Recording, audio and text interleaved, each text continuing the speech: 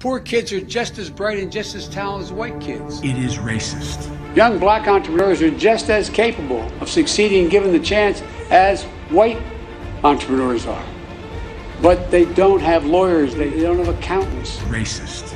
You cannot go to a 7 Eleven or a Dunkin' Donuts unless you have a slight Indian accent. Racist. And if you have a problem figuring out whether you're for me or Trump, and you ain't black.